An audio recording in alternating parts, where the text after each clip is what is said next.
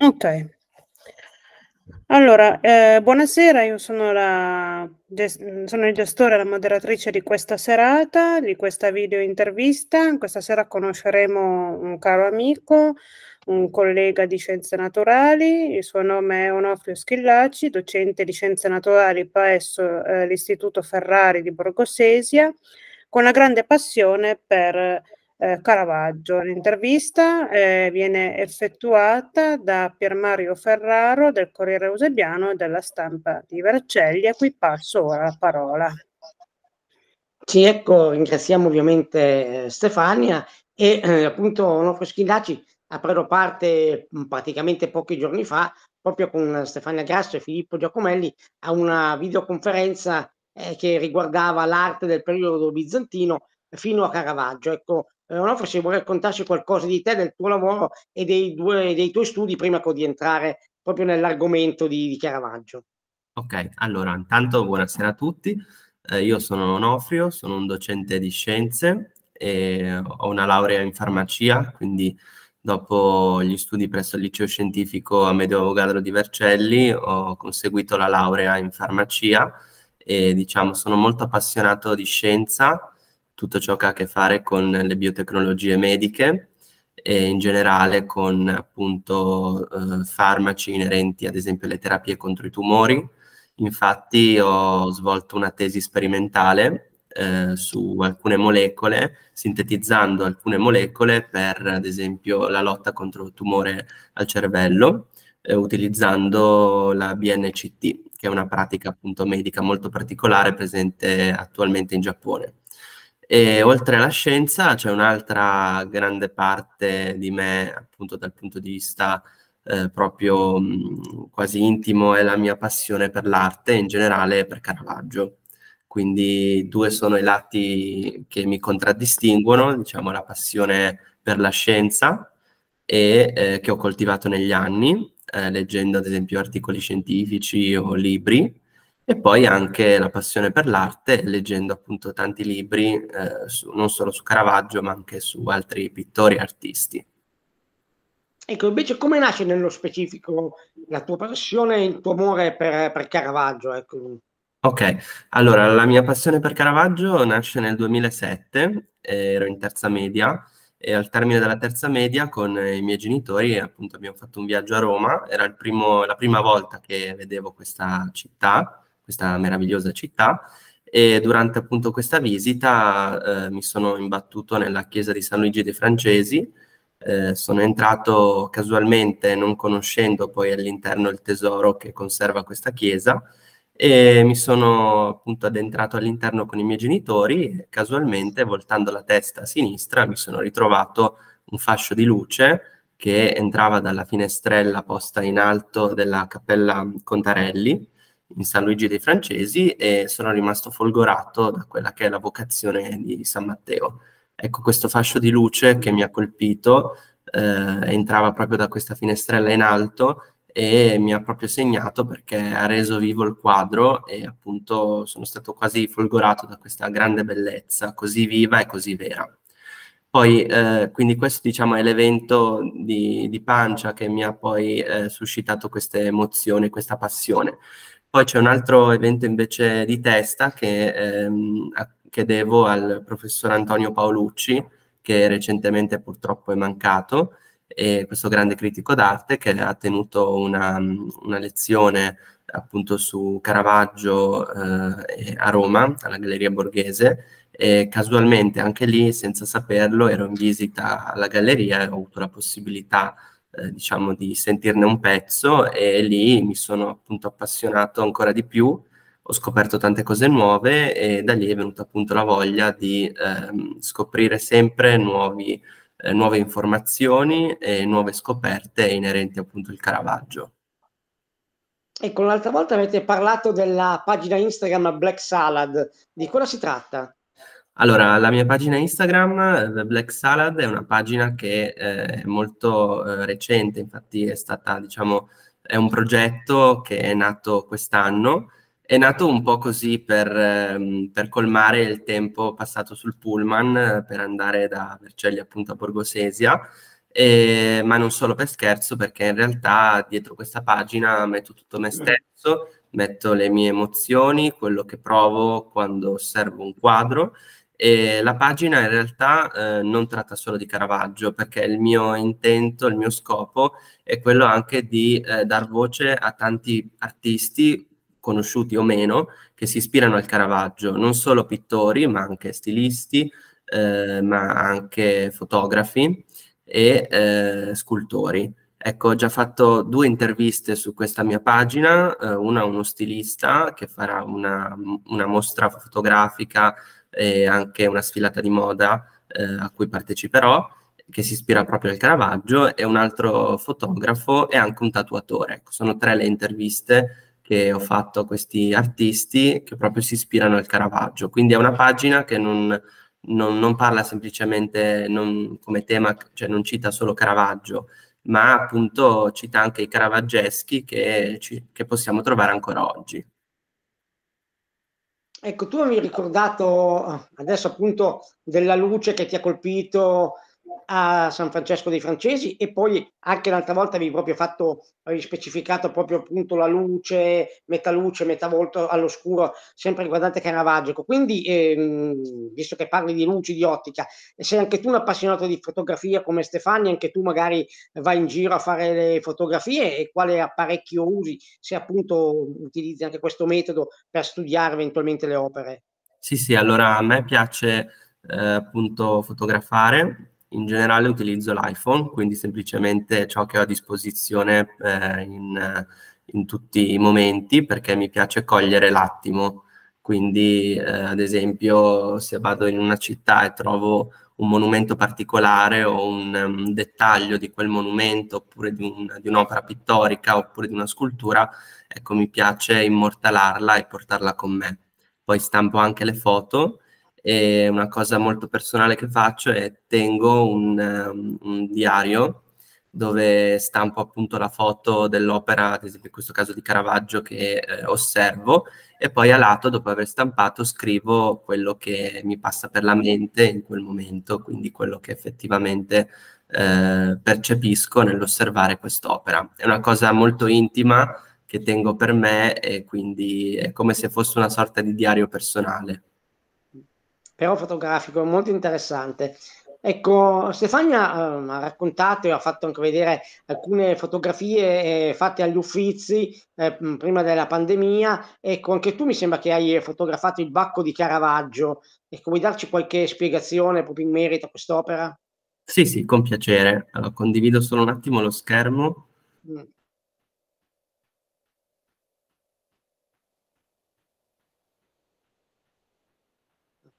Allora, spero che si veda la slide.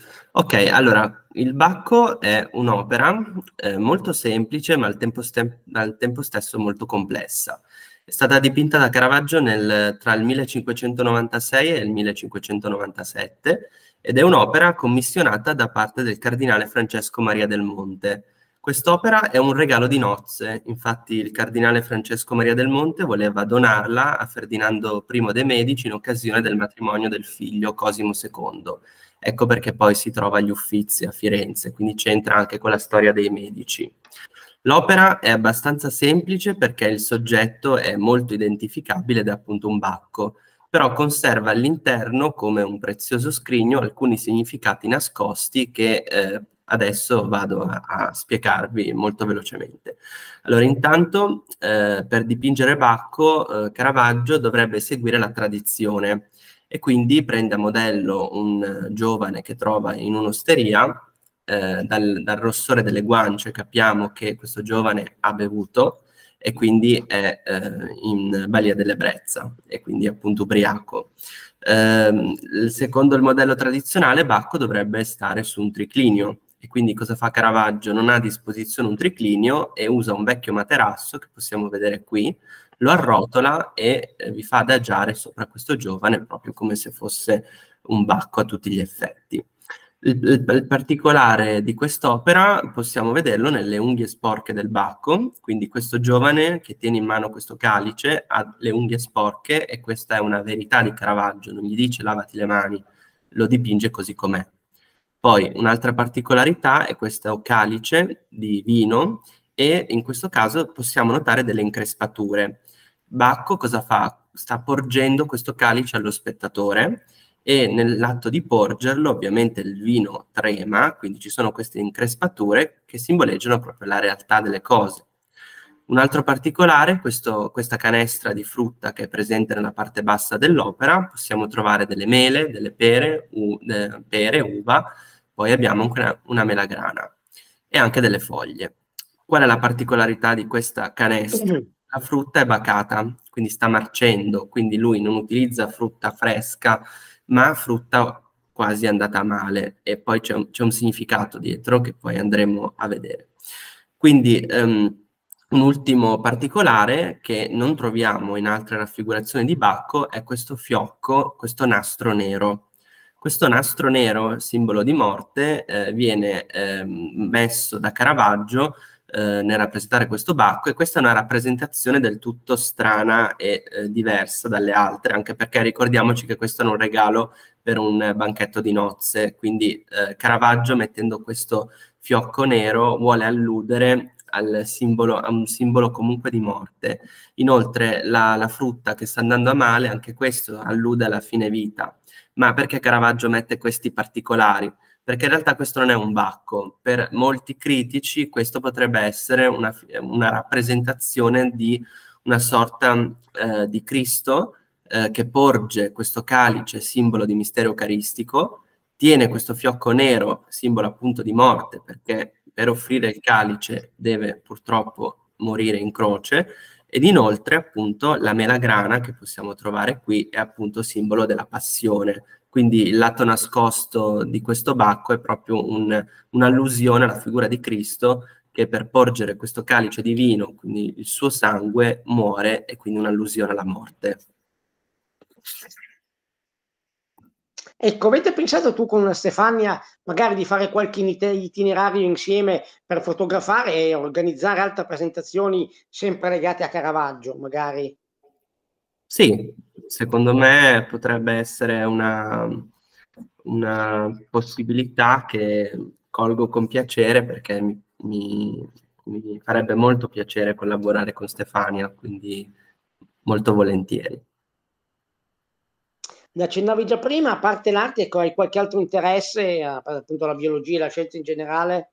Sì, sì, allora eh, se, certamente la biologia, e la chimica anche, e poi il, il cinema, mi piace molto appunto il cinema, ad esempio ho trovato bellissimo il film di Oppenheimer, eh, appunto questo regista, eh, di questo fisico, e mi è piaciuto veramente molto, quindi una, una mia grande passione anche questa. Ecco, Filippo e Stefania hanno già pubblicato un loro manuale attraverso Amazon. Magari ti ispira questa idea, magari di pubblicare qualche, qualche libro, qualche opera que- con questo sistema? Sì, vorrei provare questo sistema per poter pubblicare magari domani un, un, libro sui caravaggeschi del tempo d'oggi, quindi sugli artisti che si ispirano al passato, a Caravaggio, ma in una chiave moderna.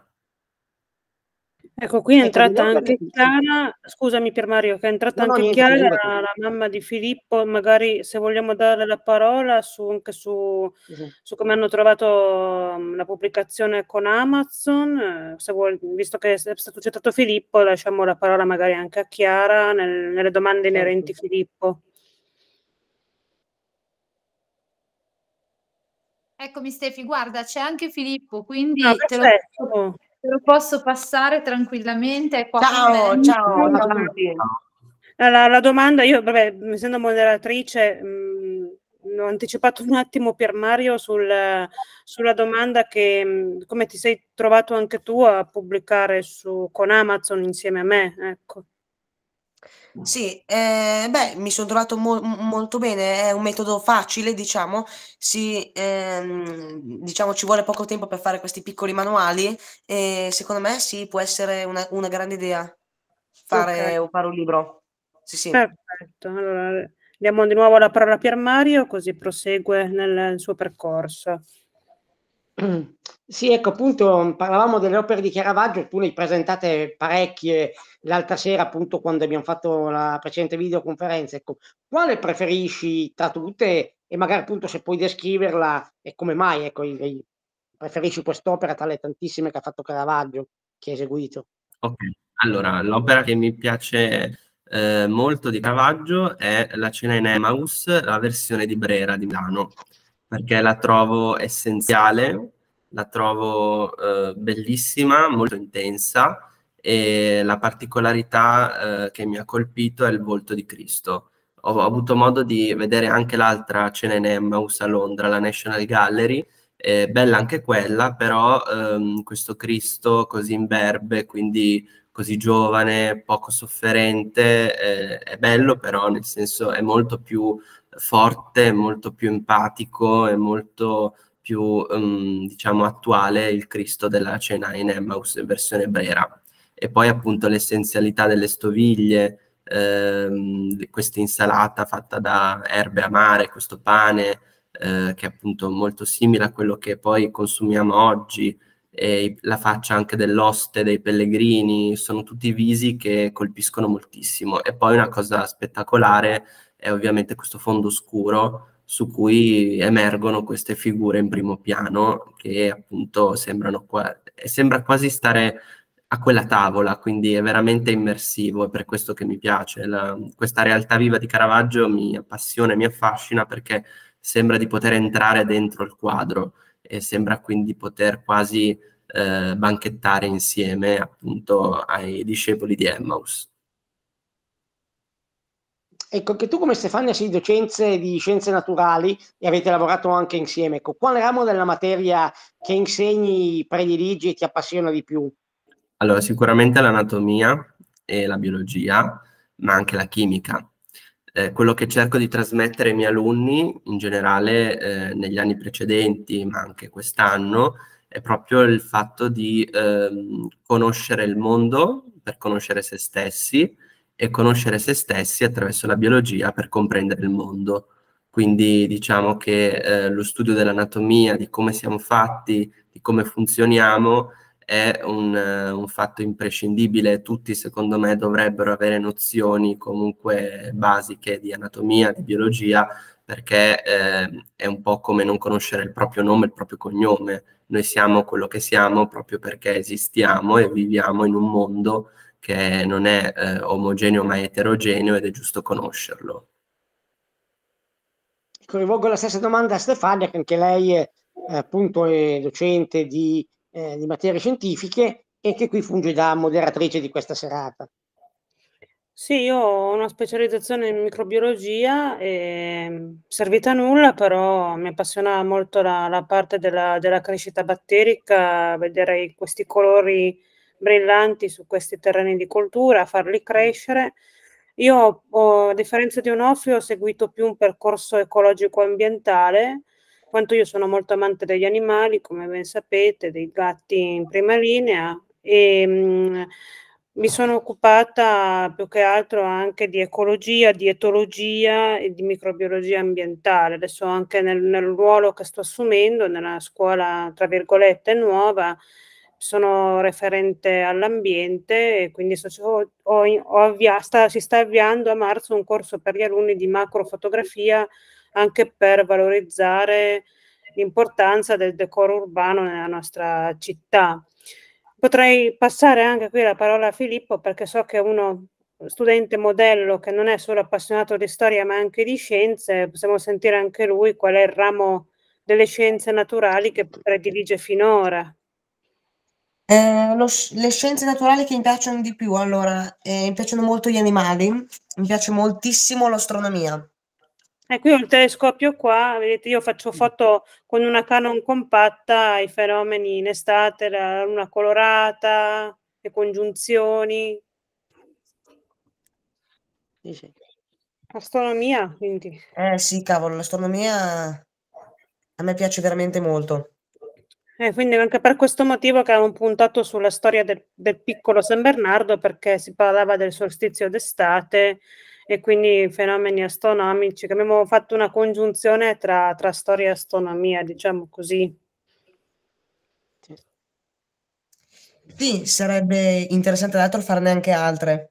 Sì, sì, assolutamente combineremo, assolutamente. Io ho anche, sto, ho anche pubblicato, ma devo ancora presentarlo, un fotolibro sul Parco Animalier d'Intro in Valle d'Aosta e sempre dove si parla di ecologia, di etologia, ma anche di, di botanica, cioè della flora locale, perché ho comprato dei, dei libri proprio alla guida della flora locale della Valle d'Aosta, quindi ho cercato di fare un manuale un po' più ampio, seppur sintetico, di tutte le specie locali autoctone del parco. Ok, possiamo riprendere normalmente. Anche, anche, la, flora, anche la flora, colgo l'occasione per dirlo, mi piace molto. Eh, infatti, infatti. Ok. Sì.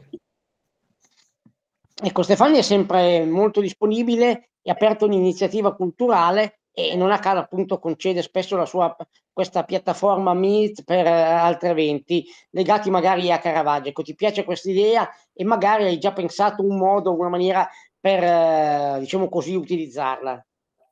Sì, allora intanto Caravaggio è un mondo, quindi c'è tantissimo da dire, se ne parla oggi come se ne è parlato nel passato e quindi si possono organizzare tantissimi eh, incontri appunto con questo tema che si può anche legare ad altro, quindi eh, Caravaggio ci permette di eh, parlare di tutto, di colori utilizzati che si riallacciano alla chimica oppure appunto dell'anatomia perché lui era molto preciso e quindi nel dettaglio anatomico, nella flagellazione di Cristo ad esempio il corpo del Cristo presenta un'anatomia perfetta, eh, ma anatomia vera. Nel bacchino malato ad esempio Ehm, non so, il colore del, dell'incarnato, eh, si percepisce appunto che c'è un senso di malattia, ma eh, in altre opere, eh, ad esempio, lui ritrae anche il gozzo tiroideo tipico eh, di un soggetto con problemi alla tiroide e quindi anche questo eh, fa parte della realtà, quindi si può legare alla medicina,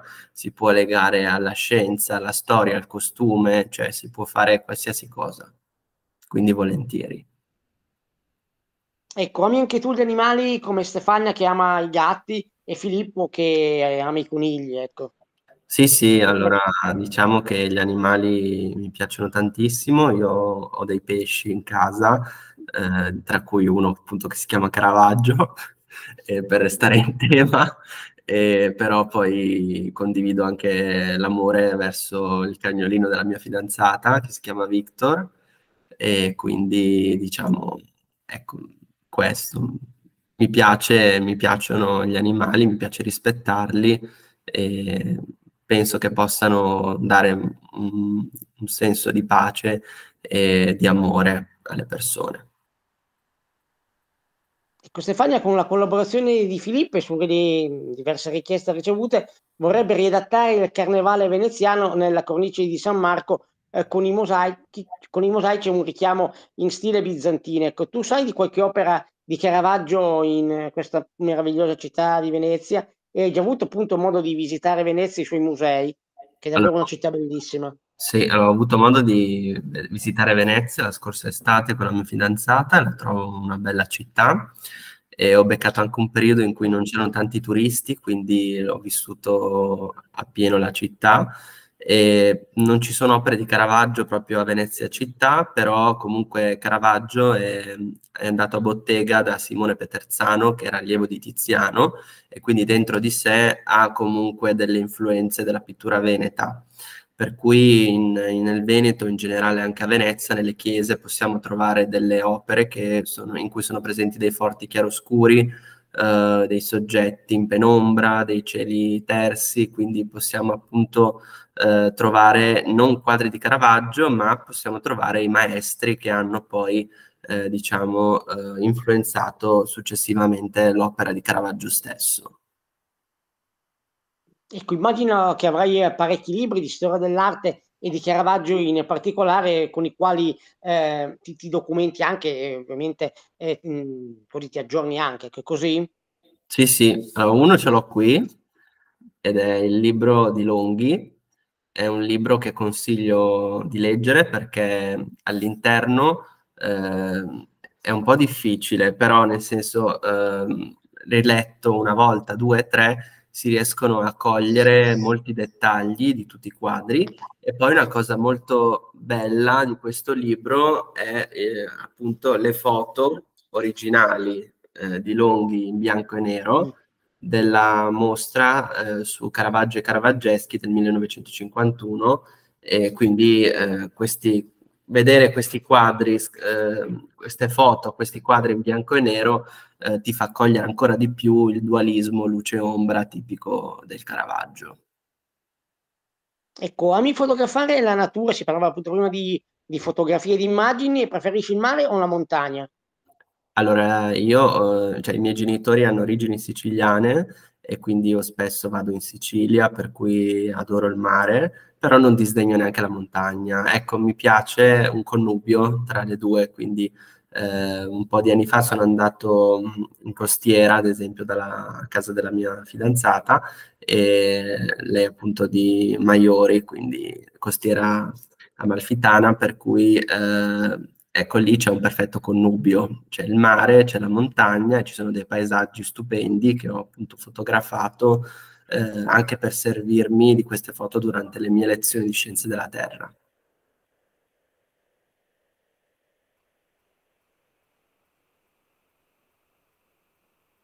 Eh, in questa mh, mm, frazione di tempo che rimane, ehm, volevo illustrare, visto che sono presenti sia Filippo che Onofrio contemporaneamente, il, un progetto che si chiamava Arte in Quota, che avevo, aveva, aveva, cercato insomma, di iniziare un, già diversi anni fa. E con uno scrittore vercellese avevamo fatto una, lui aveva proposto di fare un'antologia di poesie sue e mi aveva chiesto di illustrarle.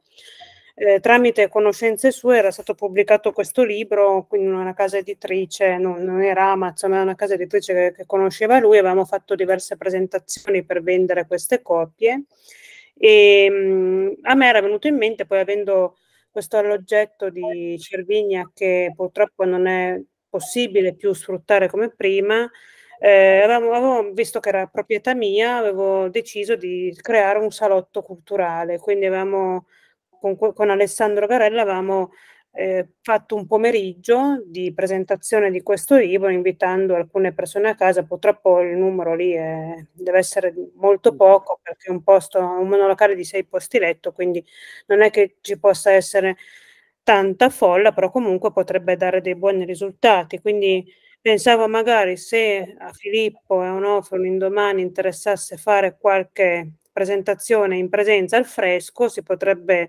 approfittare della, della posizione di questo mini alloggio, eh, ospitalità ovviamente, eh, pernottamento incluso, eh, per eh, fare queste iniziative culturali, a, a ampliare il salotto culturale, quindi non solo a proiezioni fotografiche, ma anche a presentazioni delle vostre, delle vostre opere.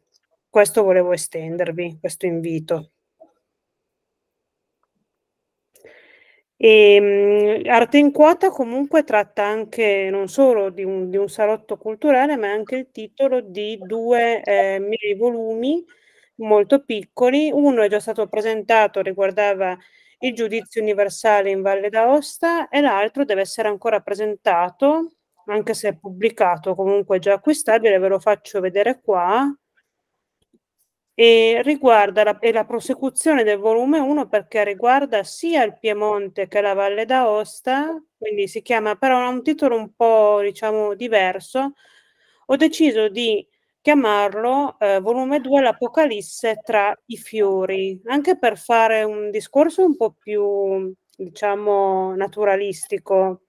E avevo fatto, nasce l'idea in quanto eh, l'estate scorsa arriva a Valdobia, avevo, ero stata, io facevo purtroppo per i problemi di salute della, della mamma, ho dovuto fare dei, delle puntatine così giornaliere, senza, ho dovuto rinunciare ad alcuni viaggi però stando a Riva Valdobia, eh, visitando di nuovo questo meraviglioso affresco del giudizio universale, che comunque è, è patrimonio culturale in Italia, avevo immortalato meglio da vicino, con uh, l'obiettivo da, fino a 300 mm, proprio i dettagli degli affreschi immortalati tra le foglie delle, dei rami, qualche fiore, e questa cosa poi è andata avanti a Verrei, che è vicino a Châtillon, a Fenice, per, per, poi andare a Brusson, e, mm, no, scusate, a San Vincent era l'ultima parte, quindi tutte, e mi è andata anche bene perché a Fenice eh, sono stata ospitata da una signora molto gentile nel, nel suo giardino privato perché aveva visto che stavo fotografando, venga dentro che ci sono anche delle rose, quindi ho fatto anche delle scene apocalittiche tra i fiori, ecco perché il titolo è l'Apocalisse tra i fiori. Questo va ancora presentato, ovviamente sarà presentato un po' più avanti perché devo dare spazio ad altre iniziative, però eh, sono anche fotolibri che un indomani si possono fare anche in presenza, anche magari col vostro sostegno, aiuto, e eh, sono già comunque acquistabili anche questi sulla piattaforma Amazon. Ecco, se poi voi volete dire due parole per eventuali collaborazioni, vi lascio un attimo la parola. Ecco. Allora, io ho trovato questo titolo geniale, L'Apocalisse tra i fiori, bellissimo, eh, quindi, cioè, nel senso, acquisterò poi il libro perché voglio vedere appunto queste foto e quindi per il momento mi sembra un, un buon progetto. Sì, diciamo che eh, parte su, dal volume 1 c'è tutta la spiegazione dettagliata anche del giudizio universale, il volume 2 è già più tralascia alcune cose del volume 1 e segue così. Chiara voleva prendere la parola? Filippo? Sì, sì, comunque qualsiasi collaborazione parteciperò Perfetto. molto, molto, molto volentieri. Ecco, poi l'altro intervento che volevo moderare questa sera era eh, io ho già avanzato una richiesta in Svizzera ehm, presso un ristorante di, di Sempione, di Simplondorf, per eh, fare la presentazione proprio sul luogo del, del, fotolibro che è dedicato alla storia di Caspar Stocalper, del barone e della storia di Napoleone eh, lungo il passo Sempione, quindi con tutte le testimonianze storiche del momento e eh, avevo, avevo, chiesto a Filippo se mh, mm, indomani qualcuno si degni di dar risposta, se voleva fare un intervento sulla parte del ritrovamento inerente alle monete romane. Assolutamente, come già detto, sì sì. Ok, quindi questi erano un po' insomma i, mm, i nostri poi, poi, vediamo per la presentazione, nel senso quella in Svizzera, perché devo dirlo anche a mio marito. E... Certo, io devo Però sicuramente la, esatto, la, sicuramente la parte di, di, di, ricerca storica sicuramente la farà. Poi bisogna vedere il periodo in cui si vuole andare. Se io ho mandato, avevo già scritto a due indirizzi diversi perché questa signora ha sempre risposto Adesso non, non so se, se, c'è un momento di chiusura oppure no, io comunque ho fatto la richiesta, ho messo quale per loro fosse il periodo migliore per essere sul posto. Quindi è ancora tutto da valutare. Sì, sì, certo, no, sulla ricerca storica sicuramente, perché sai che Filippo mm. è sempre sul pezzo a lui piacciono queste cose. E, ehm, per quanto riguarda appunto la presentazione, non lo so, ci, cioè, vedremo strada facendo, insomma. Sì, no, vabbè, chiaro. Poi magari, magari accettano di farla anche da remoto, per cui vediamo. Sì, sì, sì, sì. Eh, ha suonato il telefono, è per quello che è andato via, non so se lo sentite parlare. Non c'è problema. Ok. Passa, passo la parola a Pier Mario, così poi concludiamo. Sì, ecco, con una domanda per eh, Stefania e anche eventualmente per Filippo. Ehm, nel scorso video eh, di serata avevamo parlato, ecco, della, è stata citata la, la patena, ecco, ehm, tu che l'hai fotografata nel museo di Perlon, che cosa ci puoi dire in merito al suo significato? Ecco, per chi non, tra di noi non lo conoscesse, Perlo è il primo comune che si incontra andando verso Gressonei da Pont Saint-Martin. E eh, la chiesa parrocchiale che eh, purtroppo è aperta soltanto una volta alla settimana ed è aperta solo su richiesta per la carenza di sacerdoti nella zona, conserva dei reperti antichi che mh, comunque anche se, seppur piccolissimo desta un grande interesse perché ci sono testimonianze per chi abita qui nella nostra zona che provengono anche dalla Valsesia. Eh, si dice che ci fosse un gruppo di pellegrini con i costumi valsesiani, però qualcuno dice che sono i valser svizzeri, non si sa. All'interno però di questo museo c'è una serie di oggetti religiosi molti dei quali però sono finiti al Museo del Tesoro del Duomo di Aosta che eh, con Chiara ne avevamo già parlato, si pensava magari una volta di, visto che Filippo ha tutto questo interesse per la storia romana, di tornare insieme ad Aosta e per l'occasione visitare anche il Museo del Tesoro del Duomo. Eh, la patena io l'avevo fotografata qui e so che aveva destato un po' di curiosità nella presentazione scorsa, adesso non so se la vedete, poi io avevo creato questo opuscolo a favore del, mh, di una raccolta di offerte, che si trova a un euro anche questo su Amazon, e eh, in questo opuscolo vengono citati i reperti di questo museo della chiesa parrocchiale, poi avevamo già fatto anche una breve presentazione di questo, di questo opuscolo. La patina io l'ho fotografata ed è questa qui che vedete qua. Quindi adesso non so se anche Chiara, Filippo hanno avuto la stessa eh, idea di, di, cercare un po' di, di, notizie su questo. Io avevo messo che l'oggetto che con, conserva l'ostia prima della consacrazione e subito dopo e serve a copricalice. Qui sono praticamente opere, non si sa bene di che autori, ma della patina mi è venuto fuori questo nome di questo orafo Ghiotti, che operava, esercitava nella seconda metà del XVIII secolo. Questo è per il momento tutto quello che, che si sapeva. Poi non so se Filippo, nel, quando ha presentato l'arte bizantina, aveva trovato qualcosa forse in più di definizione, non possiamo chiederglielo. È suonato il telefono, un secondo il telefono, per cui si è staccato, come ti dicevo, eh, per cui Aspetta, eh. Non importa, se, se non ha tempo... Eh, no, niente.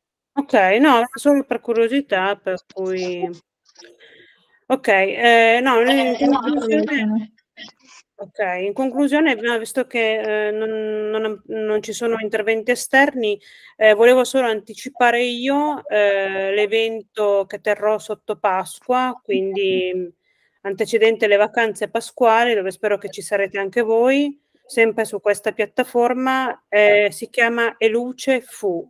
Eh, sarebbe come una, una, sorta di serata di preghiera che si ispira a, sì ai versetti delle letture di Pasqua della Regione Cattolica, ma vuole essere più che una preghiera cattolica una sorta di panteismo, di contemplazione della natura, di ringraziamento delle, dei doni che Madre Natura ci fa, eh, sotto forma di ispirandoci ai versetti dei salmi. E questo si terrà perché le foto saranno essenzialmente del Monte Rosa, del Gran Paradiso, eh, del Cervino e del Monviso. E il Cervino più che altro scattato da, da Prarolo e quindi si vedrà soltanto la punta, ma l'idea è quella di cogliere la luce nella tenebra, quindi lo scattate dal, dal settimo piano da una gentile signora che poi conoscerete eh, durante l'evento che molto spesso mi ospita e quando c'è la luce bella mi chiama per, proprio per fotografare tutta la panoramica di montagne attorno che si vedono anche per fortuna dalla zona di Vercelli. Quindi vi darò poi la data, l'ora, il link perché eh, spero che voi possiate, possiate partecipare. Questo era, era quanto. Poi se avete qualcosa ancora da, da aggiungere vi lascio la, la parola. Ok. E quindi la, la, la, registrazione c'è, vi farò poi avere da, per diffondere sui vostri blog, su, con i vostri amici, vi darò poi il link alla registrazione, questa volta comunque pubblica, e grazie per aver preso parte alla, dalla serata tra di noi. Sempre bello chiacchierare con gli amici anche in questo modo.